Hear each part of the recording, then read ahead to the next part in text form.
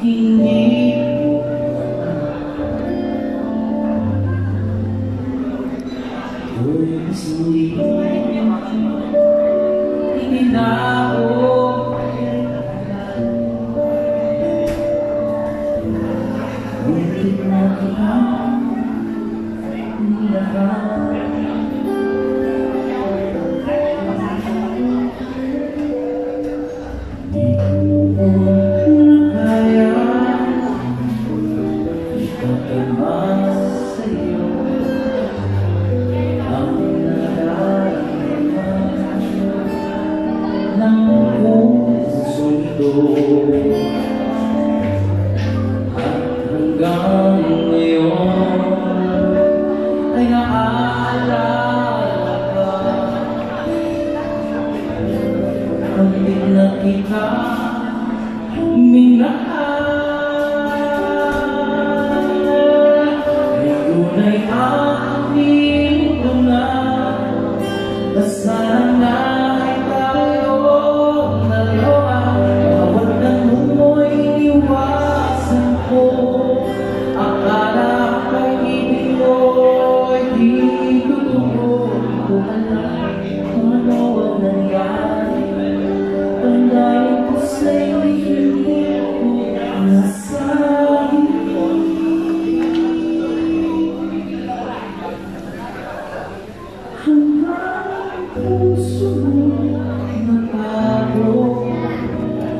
Thank